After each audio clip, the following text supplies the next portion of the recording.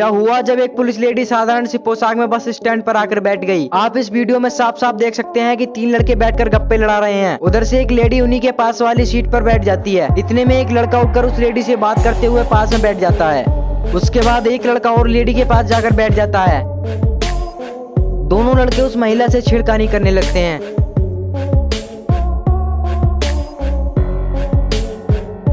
अरे ये क्या? ये सिंपल सी लेडी तो पुलिस वाली निकली। अब आप सोच भी नहीं सकते कि इन नक्कारों का क्या हाल होने वाला है।